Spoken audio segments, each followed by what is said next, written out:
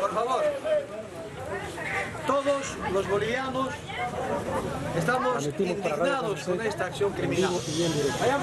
Déjennos trabajar. Estas personas han sido aprendidas por la policía que estaba por el lugar, han sido identificados por vecinos, habían medios de comunicación que han filmado todo. Entonces todos esos- todas esas filmaciones van a servir de prueba. Todos estamos indignados con, esta mano, con estos criminales. Es evidente que estaban quemando.